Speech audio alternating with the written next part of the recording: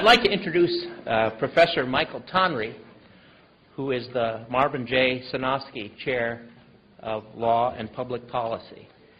He is a, a, a person of broad background. Uh, in, the, in 1987, he founded and directed the MacArthur Foundation United States Department of Justice program on human development and criminal behavior, has done a series of path-breaking empirical works throughout the country, and also has the wonderful benefit to us uh, of having a comparative perspective. He's been involved uh, in uh, thinking about these trends, this change in sentencing law, the increase in incarceration, the increase in racial disparities. He's been studying it since it really began to happen. He's also been studying what's been going on in Europe at the same time in a, in a different system around the world.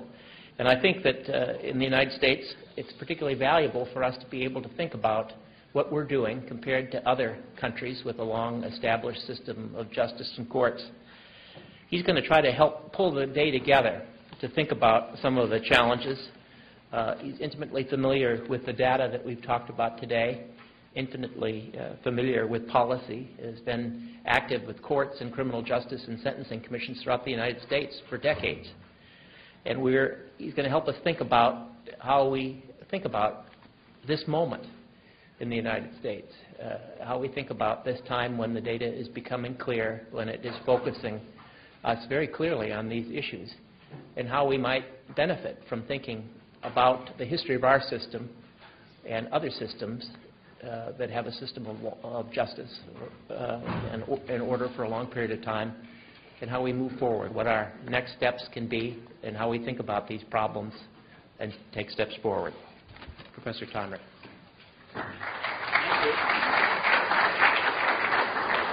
Thank you much, Myron. I need to have you return my notes.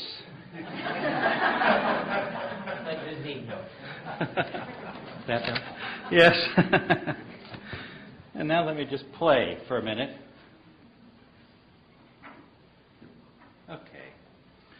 Well, Kevin Wright said two things that, that I want to uh, build on. The first thing he, he didn't say in so many words, but it, it, it was part of a colloquy he had with the questioner.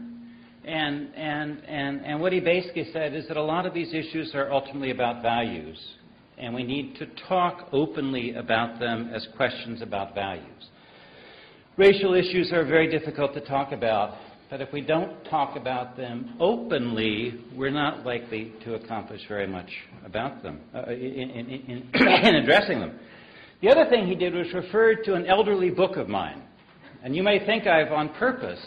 There's, a, there's an elderly theme here. Myron talked about the tens of decades that I've worked on these subjects. Um, it, my hair's a little bit of a giveaway. And, and this book cover is a bit elderly. And the reason I mentioned the book cover is that Kevin mentioned this book, and I wanted to tell a little tiny bit of a story about it. So I published this book in about 1992, and, and the aim was to try to get a handle. Pardon? 95. 90,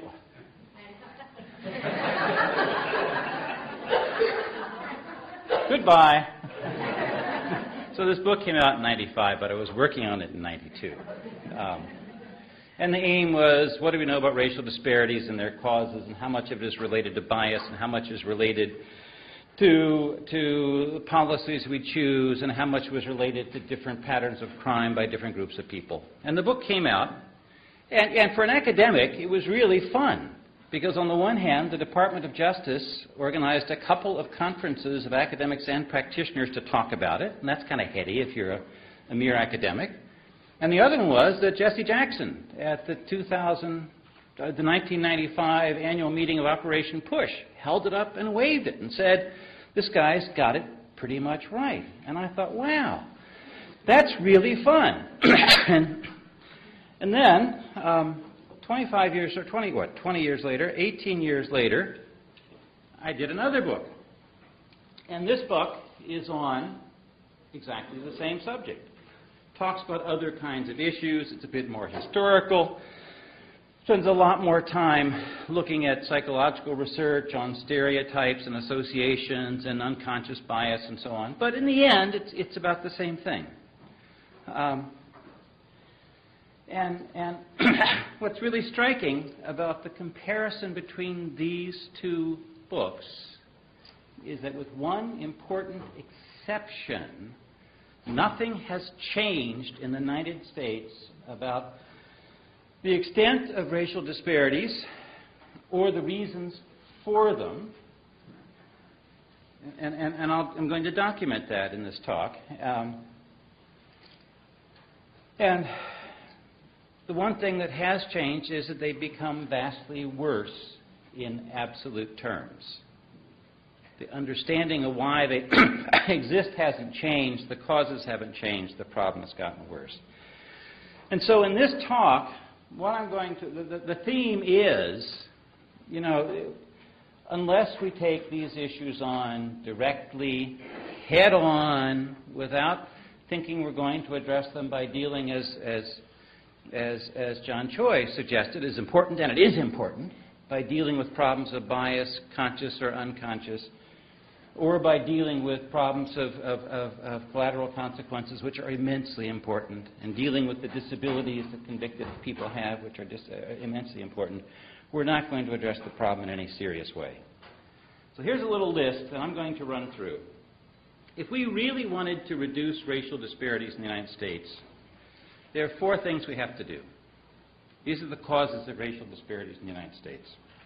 The first cause of racial disparities in the United States is conscious policy decisions of legislators and police, and to a much, much lesser extent, judges and prosecutors. And unless we address those policy decisions, we're not going to affect the problem. The second thing we have to do is a subcategory, unless we alter in this country the continuing emphasis giving primacy strategically to street level drug arrests in disorganized urban neighborhoods, we're not going to significantly reduce racial disparities in the American criminal justice system. If we don't reduce racial profiling, by the police, we're not going to significantly reduce racial disparities. When we talk about racial profiling, people are mostly concerned about the sheer unfairness of police without adequate cause stopping people partly on the basis of their ethnicity. And that's a big problem. But the bigger problem is that if we stop 10 times more blacks and Hispanics relative to whites, and even if, if, the police are just as good in their guesses with blacks, Hispanics, and whites, if we stop 10 times more Hispanics and whites and 8% of them get arrested, whites, blacks, and Hispanics, in absolute terms, the number of people going into the police department and the courts who are black and Hispanic is going to be eight times higher than the number of white people. It's a huge feeder of the system. And the last is Richard, Richard Frase's point about, about criminal record. I'm going to do this in 12 minutes, so we'll be five minutes late, is all. Um, so I'm going to run you through some things. This, this table, I don't really expect you to absorb. I show it to you. Now, I show it to you only to show that I've actually done the calculations that are in it. What I wanted to do with this table was show you why addressing issues like bias, conscious or unconscious, or collateral consequences is not seriously going to affect the problem of racial disparities. And what I did, but I'll show it later in a shorter one that's easier, is I just took the year 2006, took the then existing black and white imprisonment rates per 100,000 people, which was a difference of five and a half to one, and I used a large estimate, a large estimate of what the effects would be if we could just get all the conscious and unconscious bias out of the system. If we could reduce disparity by 10% because that was the amount of disparity that was affected by conscious and unconscious bias and didn't do anything else, right? We would reduce the amount of disparity a bit from 5.5 to 1 to 5 to 1. But we would still wind up with 2,400 black people per 100,000 in prison. A huge absolute number. If we were much more radical and reduced the use of imprisonment in the United States by half overall, so we halved these rates of imprisonment in 2006, we'd keep the same ratio of racial disparities, but we would cut the number of black people in prison to 1,330 per 100,000. And if we rolled back, and this is not radical, if we rolled back to 1980, when the American imprisonment rate was about 300, three times the world average, and just used the numbers as they existed then, the number of black people in prison per 100,000 would be 827. Now, th- this may seem an odd thing for me to talk about, and I'm in this next, whoops, in this next figure, I've just reduced it again. I just want to repeat the numbers again really quickly. If we were seriously trying to reduce the bite that prison takes out of the lives of black Americans, if we invest our energy in trying to reduce racial disparities resulting from conscious and unconscious bias, we could do it a little, but we would still wind up with almost 2,500 black people per 100,000 in prison a tiny, tiny reduction in the bite that prison takes. If we did these other things, we could reduce the, the, the, effects of imprisonment, the number of people suffering collateral consequences, the number of people suffering disabilities as a, as a result of felony convictions in half. So if, if we're really going to seriously address the problem of racial disparities, we've got to think big. And if we think big, we've got to talk about these words that, that, that, that liberal reformers have been uncomfortable talking about for a long time. Words like justice and equality and humanity and human rights. In many fields today, liberal reformers typically talk about cost effectiveness and recidivism reduction, and we're going to deliver this program at slightly less cost than prison, and isn't that wonderful? That is not why current policies were adopted, right? The current policies in the U.S. that drive racial disparities were not adopted because legislatures throughout the United States did cost effectiveness studies and decided, well, you know, prison is more cost effective than not. They didn't do that. They did it because they thought Victims deserve vindication. Bad people deserve being pummeled. They did it for normative reasons. And so to try to respond to, to patterns and policies that exist and were created for normative reasons on the basis of we'll save a little money here, and if we're right that this program works, but usually we're not going to be right, in general, correctional programs do not reduce recidivism rates closely monitored ones run by charismatic leaders with adequate resources and wonderful staff training do. Ordinary programs don't. we're going to be making promises we can't keep, and we're not going to be speaking in the terms of the people who enacted the laws that produced the patterns that we're unhappy with. All right. So, so my four points, and I'll only talk about three of them. Whoops, wrong way. Sorry.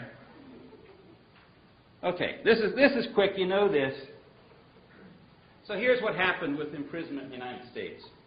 If you go back to the 1960s, the, the number, fraction of people in prison who are black is about a third. And it goes up a little bit until the beginning of the Reagan administration, when it reaches the mid 40s, goes up in above 50%. And when I say 50% black, I mean 50% black people. Hispanic, non Hispanic, people who have dark skin tones who got classified by the police and, and in those days by prison systems. So half the people in America who were in prison were black. And that hasn't changed very much at all in the last 10 years. So when I wrote my first book, it's right here, right? And I'm analyzing all the problems and, and, and all the and, and, and looking at the effects of crime by group on, on arrest and imprisonment and, and, and prison and so on, and identifying what the problems were. No change. So there's no change at all of any consequence in the scale of racial disparities. This makes it more vivid. What I did here, I've never seen anybody else do this before, I put the rates per 100,000 black people and white people in prison in given years on the same graph in a way that dramatically emphasizes the blackness of American prison policy. So if you go back to 1950, there were about 100 whites per 100,000 in prison over here, and about 700 blacks. You look at this curve 1,000, 1,400, 1,800, 2,000, 2,600, 2,800 the amount of increase in imprisonment of black people. Go back to when I said that in, in 1980, when the Reagan administration took power and we had the first big jump up to about 46% of, of American prisoners being black. Look at the difference between the imprisonment rate for blacks then of 1,200 per 100,000 and now, when it pushes 3,000. So the problem is much, much worse. I want to give you one last little figure of this sort that a little bit brings in an element I hadn't actually planned to talk to, but, my, but Myron, Myron raised it, so I'll say something about it, which is the comparative work that I do. I do a lot of work in other countries, both as an academic and as an advisor to governments. In Western countries, Europe, the US, Canada, Australia, New Zealand, developed, wealthy Western countries, it is indeed true that the imprisonment rate per 100,000, uh, the imprisonment rate for the entire population, including people in jail and people convicted, is about 100 per 100,000, ranging from in the 60s in the Scandinavian countries to 140 or 50 in England and Spain, which are the, are the high countries. In this figure, what I show is the increase per year imprisonment rates for whites and blacks in the United States for a 20 year period. So look over here at this year, 1991. In 1991, I'm making this number up. If the black imprisonment rate was 2,000, 2000 in 1991, at the end of 1991, it was 2,126 another 126 black Americans per 100,000 went to prison as an additional increment. The population of prison increased by 126 black people per 100,000. That's more than the total imprisonment rate of any except two or three Western countries today. And that was just one year. If you look at these, these little bars, there were 10 years during the Clinton era, and at least in the first few years, he, he purported to be a progressive on social policy issues, there were 10 years in the Clinton era when the imprisonment rate for blacks increased per year more than the average of any other developed, well, most of the developed countries in the world. All right. so that was point one. The problem is not getting better. And it's only going to get much better if we do things that we figure out ways by taking on the really hardest questions and driving down the use of imprisonment in this country. Second thing was drugs. I'm going to show you three sets of drug figures. This one is, is, is from the National, used call the National Drug Abuse Annual Surveys of Self-Reported Drug Use. And what it showed, I took, showed you two years just to show you that one wasn't a fluke. They show for alcohol, look at this, more whites than blacks drink alcohol. Ever, last year, last month, any illicit drug, same pattern, more blacks than whites use any illicit drug. Marijuana, all these measures, except right down here at the bottom, more whites than blacks use marijuana. Cocaine, many more whites than blacks use cocaine. The only exception is way down here at the bottom, and it deals with crack cocaine. But in general and overall, black people in America use drugs significantly less than white people do. Now look at this. This and we know that the prevalence of drug trafficking within racial groups is the same. And I'm going to show you something in a minute that, that demonstrates this. So Americans use drugs at about the same rate, except whites do more, except for crack, but the crack levels are very, very low. But when we arrest people, this is the war on drugs taken off. The rate at which we arrest white people, this is all people we arrest, adults and kids, has been about the same 200 per 100,000 for the last, what do I have here? I have 30 years. But look at the black rate. At its peak, it was six times higher than the white rate. Now it's a mere four times higher than the white rate. So blacks don't use drugs anymore, and all the evidence we have about trafficking is that blacks don't sell drugs anymore. Uh, but blacks certainly get arrested a lot more, and in the last 10 years, drug, drug offenses have been a primary driver of prison population increase, especially in respect to state prisons. Okay. And yet, we arrest all these people. How do we do that? We know, why, we know how we do that. It's because police emphasize street level drug enforcement in socially disorganized urban areas. That's why. That's how come. So the police put out a net, and not surprising, they pulled in an awful lot of minority drug fish. If that's not a maybe maybe I shouldn't go there. That's, we'll forget that. But, um, so this is this is drug sales by young people, right? The same self-reported sort of data. Richard Richard has worked with this stuff a lot. And all I want to point out is 12 to 17 year olds sold drugs at least once in the last year. Solid line is black, white line is white. This is the same national drug abuse stuff. What you see is that 3 to 4 percent of kids say they sold drugs to somebody in the preceding year. Black. You know, it kind of wobbles whether it's slightly higher for blacks or slightly higher whites, but it's, it's 10 years of data in very, very large surveys. Look at the number of kids who say they've sold drugs at least 10 times. So these are kids who are sort of doing it as a, at least as a source of serious pocket money. Same. Same. Now look at this. These are arrest rates for kids for drug offenses. Until the late 1970s, the white rate was higher. And that's because a lot of white kids got arrested for selling marijuana at a time when the drug wars emphasized marijuana.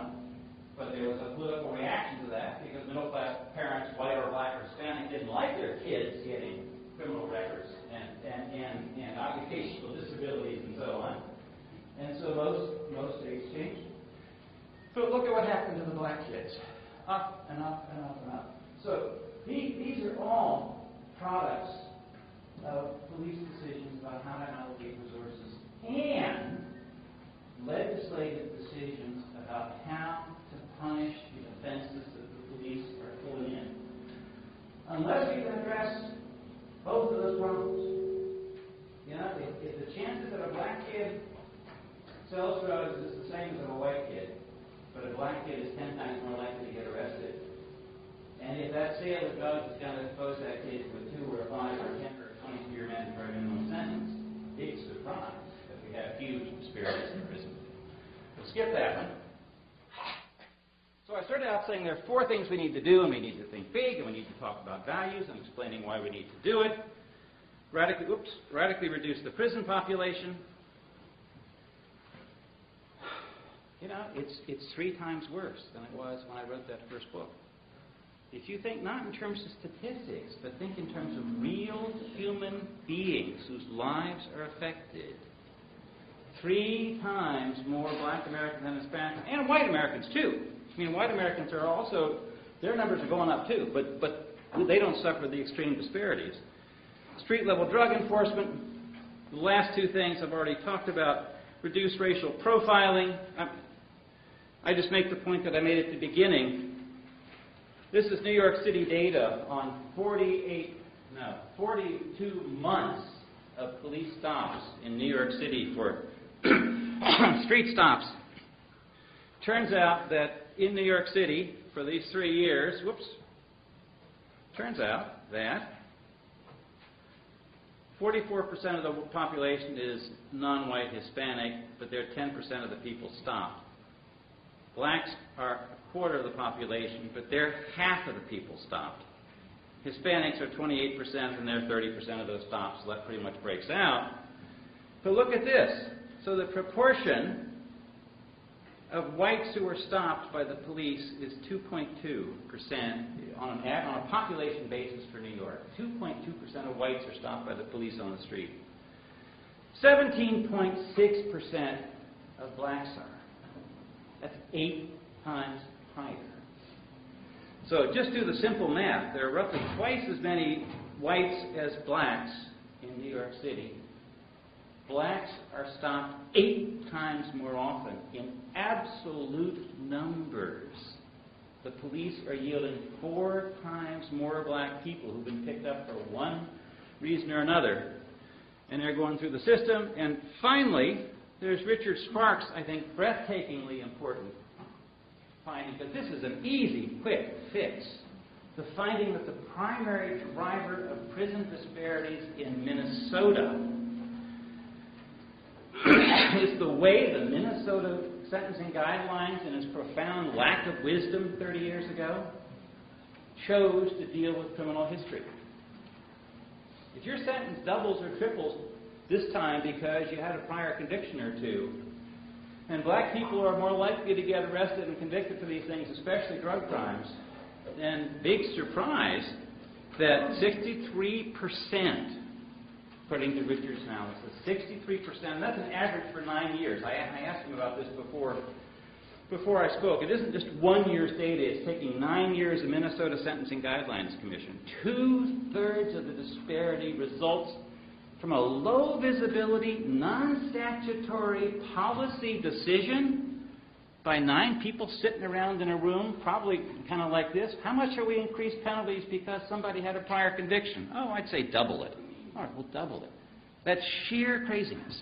So if Minnesota or any American jurisdiction wants significantly to reduce racial disparities and the damage they do to human lives, gotta think big. Gotta think big. It's really important to deal with things like disabilities resulting from felonies in your record. We gotta attack all that stuff, of course. But, but that's really operating at the tiniest retail level. These are big wholesale problems, and retail solutions probably aren't going to fix them. So, I'm not sure whether I was supposed to inspire or give, give marching orders or give a sermon or what I was supposed to do. Um, but anyway, so this funny juxtaposition between doing this book that has, has the Department of Justice on one hand and Jesse Jackson on the other saying, Good boy, good man, you did a good job there. That's really important. You showed us what's wrong. And then to look at it again 20 years later discover that all the policies that caused the problems in 1992 remain in place, but the absolute problem, the relative problem, is exactly the same, and the absolute problem is three or four times bigger. Seems to me those ought to be marching. there ought to be flags that we can all march behind, that, that we've got to figure out a way to, to, to do more that is just in the way we deal with criminal offenders. Thank you.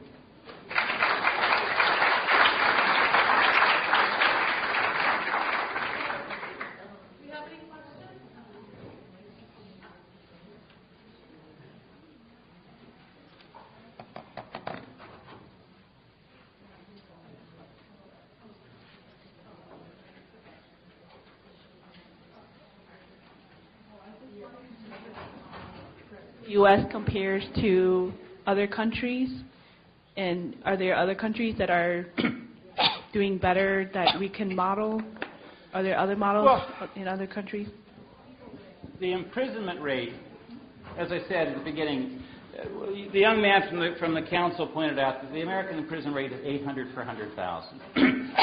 the, uh, Senator Limmer said, well, you know, a lot of these problems don't apply to Minnesota because we have a small imprisonment rate, second lowest in the country. But when you add the Minnesota prison population rate to the Minnesota juvenile confinement rate to the juvenile pretrial rate and county county sentence rate, the, the Minnesota, I don't know what this is, Richard. You may know. Is it 350? 300 when you put it all together? All right, so 300 per 100,000 people in, quote, liberal Minnesota is five times higher than the Scandinavian countries. It is three and a half times higher than Germany, Italy, France. It is two and a half, two times higher than the highest other countries in the Western world, which are England and Spain and New Zealand. So the answer is, in absolute terms, the huge difference is not how often we use prison. Oddly enough, Americans do not, American judges do not send more people to prison relative to the number of cases coming through than judges in some other countries. We just send them there for breathtakingly long times. So if, if, if we're in Scandinavia or Germany, the number, the percentage of sentences that are for more than one year is in the 1 or 2% range. In most other developed countries, the maximum authorized sentence that can be imposed, except sometimes, sometimes for aggravated murder. But with that setting that aside, in most other countries, the maximum sentence that can be imposed is 12 years or 14 years for the most serious of all offenses. We have 52,000 people serving sentences of life without possibility of parole, a significant minority of whom did not commit homicidal offenses. Did not commit. So, so the really huge difference between the U.S. and other countries that feeds this absolute difference in imprisonment rate is that we are unprecedentedly severe in this country in the way we treat offenders. Thank you, Professor. All right, the day is over. I want to thank you all again for being a part of the forum and to remind you to fill out those green forms. Those are input forms. And the Council on Crime and Justice with the Institute on Race and Poverty will be producing a report from today, and your input is very much so needed in that. So thank you so much.